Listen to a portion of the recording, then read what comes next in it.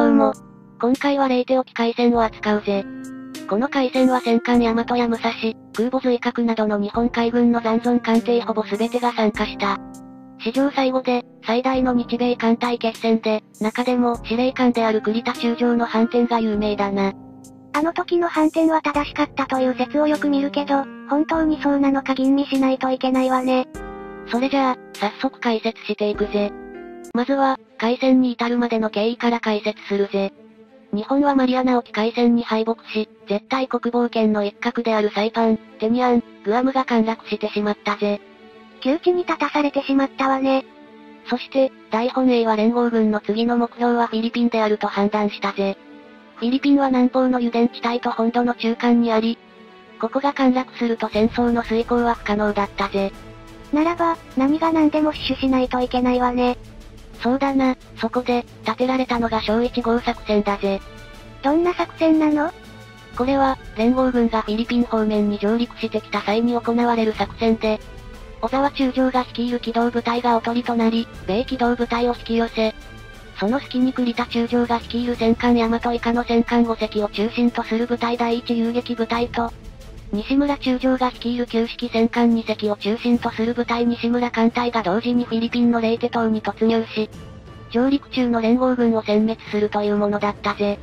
今回は機動部隊が主役じゃないのね。以前に発生した台湾沖航空戦で多数の航空機を失い、空母に乗せる艦載機がなかったからだぜ。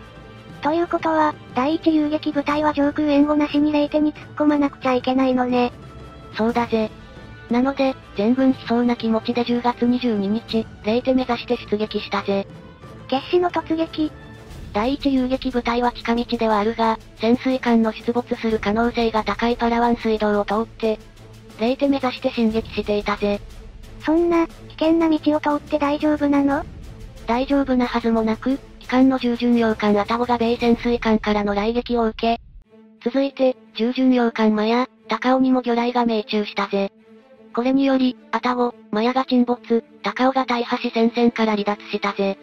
開戦直前に、大型従巡洋艦3隻がやられたのは痛いわね。でも、なんでこうなってしまったの？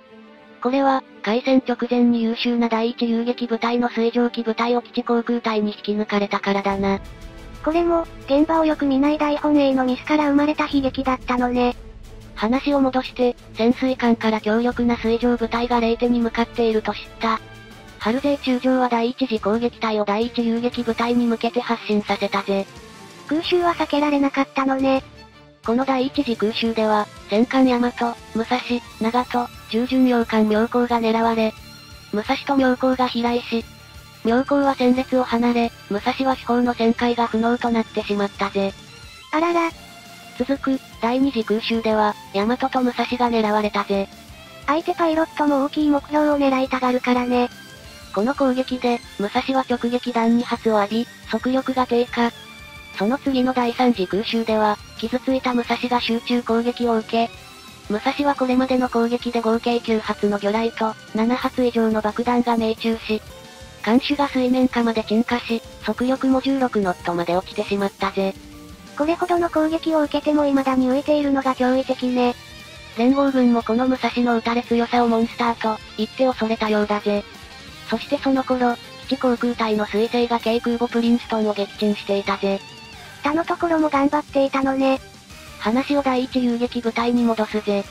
その後の、第4次空襲では、武蔵ではなく、大和や長門が狙われたが、第5次空襲では再び攻撃が武蔵に集中。武蔵は合計11本の魚雷と爆弾10発が命中し、ついに武蔵は沈没してしまったぜ。このため、栗田中将は第一遊撃部隊を一時的に反転させたぜ。ちなみに、この反転は春勢を、第一遊撃部隊が壊滅的な損害を受けて、撤退したと思わせ、その矛先を小沢機動部隊に向けさせることに成功しているぜ。意外な成功ね。ところで、他の部隊の戦闘はどうなっていたの？それじゃあ、それも解説していくぜ。まずは、スリガオ海峡海戦から。時は武蔵が沈没してから、少し経った頃。西村艦隊はスリガオ海峡からレイテに向かっていたぜ。西村中将は突入を予定突入時刻より、1時間くらい繰り上げていたぜ。第一遊撃部隊は一時反転していて、遅れているのになぜ？残念ながら、この判断の真相は分かっていないんだ。ともかく、西村艦隊は単独でレイテに突入することとなった。しかし、ス川海峡には戦艦6隻、巡洋艦10隻、駆逐艦21隻、魚雷艇39隻からなる強力な米艦隊が待ち構えていたが、これに対し、西村艦隊は戦艦2隻、重巡洋艦1隻、駆逐艦4隻しかいなかったぜ。兵力差が2、3倍くらい離れているのに、突っ込まなくちゃいけないのね。ちなみに、6隻の米戦艦のうち5隻は真珠湾攻撃で損傷したものだぜ。あの時の付けが今帰ってこようとしているのね。そうとも知らず、西村艦隊のスリガオ海峡へ向け、突入が開始されたぜ。そして、駆逐艦しぐれが相手魚雷艇を発見し、砲撃を開始した。戦艦山城、不装もこれに機銃走者を浴びせ撃退したが、次の駆逐艦の来撃で不装が飛来、合沈してしまったぜ。さらば、急流城塞。その後、駆逐艦満潮、山雲、浅雲が飛来し、満潮、山雲が沈んでしまったぜ。次々と飛来が増えていく。そして、ついに機関山城にも魚雷が命中したぜ。この時、西村中将は以下のように全軍に発したぜ。我魚雷攻撃を受く、各艦は我を顧みず前進し、敵を攻撃すべし。烈烈たる西村中将の闘志が現れているわね。しかし、これが、山城の発した最後の伝聞となってしまったぜ。そして、米戦艦軍が山城、従巡洋艦最上に向かって砲撃し始めたぜ。砲弾は次々と山城、最上に命中し、さらに、魚雷3発が山城に命中。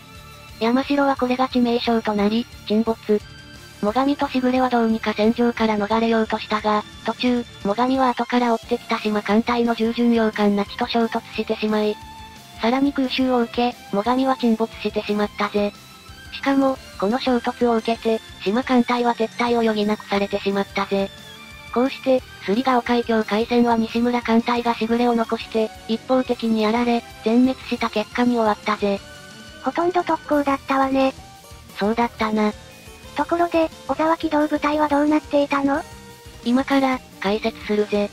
小沢中将指揮下の機動部隊の兵力は空母随角、随砲、千代田、千歳、航空戦艦伊勢、日向、軽巡洋艦3隻、駆逐艦8隻。そして、関西機は116機だったぜ。前のマリアナ沖海戦と比べるとその凋落っぷりがわかるわね。普通なら、これらの4隻の空母で関西機250機くらいは優に積めるのだが、その半分もないのは悲しいよな。でも、この116機で攻撃しても、強力な米機動部隊の前には歯が立たないわよ。小沢中将もそれを知っていたので、少数の戦闘機を残して、他すべてを味方基地まで逃がしたぜ。他の説として、基地航空隊と連携してさっきのプリンストンを撃沈したというのもあるよ。そして、小沢機動部隊は米機動部隊を引き寄せることに成功し、このことを全軍に伝えたぜ。やったね。でも、ということは、相手攻撃隊が襲いかかってくるってことよ。それも、覚悟の上だぜ。小沢機動部隊は米機動部隊からの延べ4時にもわたる攻撃を受け、追角、追大鳥、千代田、千歳、軽巡洋艦1隻、駆逐艦2隻を失った後も、戦艦ヒューが、伊勢の見事な回避運動により、無事全滅せずに帰還することができたぜ。この回避運動には春勢も、老練なる艦長の回避運動により、ついに一発の命中弾も得ず。と、言っているぜ。ちなみに、この時の伊勢の中瀬艦長は新米だったらしいよ。まあ、ともかく小沢機動部隊は米機動部隊を引き寄せることに成功し、第一遊撃部隊はレイテに向かって再反転したぜ。ついにレイテ突入ね。早朝、第一遊撃部隊は水平線の彼方に米空母を視認したぜ。絶好の大チャンスじゃん。空母ほど水上戦闘で脆弱な艦はないからな。この部隊はクリフトン・エルスプレイグ少将が率いる護衛空母6隻、駆逐艦7隻の護衛空母部隊で、連合軍のレイテ上陸を支援していたぜ。しかし、栗田中将はこの目標を米正規空母部隊と判断し、大和はこの目標に46センチ四方を発射。砲弾は初弾から命中したぜ。スプレイグ少将は砲撃を受けるとすぐさま、攻撃機を発進させ、空母をスコールの中に逃し、駆逐艦に煙幕を張らせ、小沢機動部隊を追撃している春勢に救援を求めたぜ。しかし、春勢は黙殺し続けたぜ。春勢は日本空母に恨みでもあるのかしら？春勢は戦後。また、再び同じような状況に陥っても、私は迷わず機動部隊を攻撃していただろう。と、言っているくらいだからな。しかし、それを聞いたハワイのニミッツ大将は、春勢に小沢機動部隊の追撃をやめ、第一遊撃部隊を攻撃するように伝えたぜ。知っている。全世界は知らんとホッスが有名ね。あれは、暗号解読士が勝手に付け加えたものらしいんだがな。ともかく、その間に第一遊撃部隊は米空母1隻を撃沈し、3隻に損害を負わせたぜ。大戦かね。しかし、アメリカ軍の抵抗も激しく、駆逐艦は果敢に肉薄来撃し、従巡洋艦熊野に魚雷を命中させているぜ。特に航空機の活躍は目覚ましく、魚雷を積んで飛び回り、それがなくなると、陸上攻撃用の瞬発弾を装備し、それもなくなると、今度は何も搭載せずに来撃するフェイントをかけたぜ。これらのせいで、第一遊撃部隊はたびたび射撃を中止せざるを得なくなり、さらに、従巡洋艦千曲、鳥海、鈴屋が沈没してしまったぜ。戦果と損害が割に合わないじゃない。さらに、大和と長門が魚雷と並走して戦場から遠ざかってしまった上、空襲も激しくなったように感じたので、栗田中将は全軍を大和のところに集め、再びレイテ目指して進撃したぜ。米空母に肉薄していた巡洋艦たちは不運ね。そして、第一遊撃部隊はレイテまであと、1時間のところで、運命の電報を受け取ったぜ。敵の正規空母部隊、焼き地下にあり、丸945。これは、どこのことなの？第一遊撃部隊から北に90キロのところだぜ。90キロったら、結構離れているし。しかも、30ノット以上出る快速空母に27ノット程度しか出せない第一遊撃部隊の戦艦が追いつけるはずがないじゃない。さらに、焼き地下にはいくつか不可解な点があるのぜ。それは、発信者がはっきりしていないこと。もう一つは、この電報は航空機から発せられたものだが、ヤマトの大部分の通信要員と、他の艦では受信できていなかったのぜ。ヤマトの通信設備、通信要員ともに一流のものが揃っていたし、怪しいわね。さらに、撤退の理由として、小沢機動部隊の米機動部隊を引きつけたという電報は届いていなかったぜ。これは有名ね。もう、マリサったらもったいぶって今頃持ってくるなんて。もったいぶっただけじゃないぜ。よく随角の電波が弱かったと言われるが、戦艦ヒューガではこの電報は受信できているし、潜水艦の無線電話を傍受できるヤマトが受信できていない可能性は低い。しかも、当時の戦艦ヤマト副砲長だった、深井敏之海さんによると、小沢中将が機関を随角から大淀に変更したことを示す電報は届いていたらしいぜ。小沢中将が気分で機関を変えたりしないから、これは誰が見てもおとり作戦が成功したことを表していると思うわよね。他に、撤退の理由として、精神があると思うぜ。どういうこと？戦艦の司令部としては、レイテの空船の輸送船を沈めるより、敵空母と差し違えた方がかっこいいだろ？そういう思想もあったかもしれないな。よくある、栗田中将が疲れていて、判断を誤ったというのは違うの？ああ、あれは、栗田中将が戦後インタビューで言っていたやつだな。だけど、ウプ主はこれはありえないと思うぜ。当時戦艦長戸艦長の兄部さんは、疲労からの五段ということは、ありませんよ。疲れて判断が鈍るということは、戦闘中には絶対にないものです。作戦の遂行というものは作戦の遂行という重大な責任の前では、2番や4番、眠っていなくても平気なものです。それほど、緊張しているのです。と、言っているぜ。やはり、栗田はクソだったのか。ウプ主は必ずしも、栗田中将だけが悪いとは思っていないぜ。